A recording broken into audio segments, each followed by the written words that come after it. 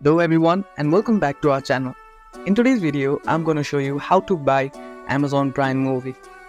So without any further ado, let's get into it. So at first, open your preferred web browser and go to Amazon official website.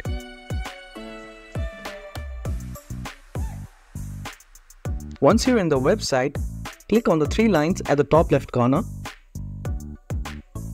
and from here click on see all option.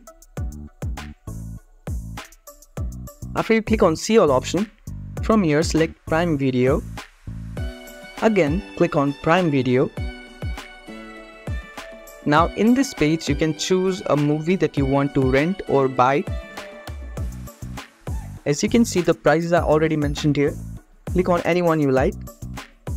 I'll click on buy HD click on continue now you'll have to add your billing address.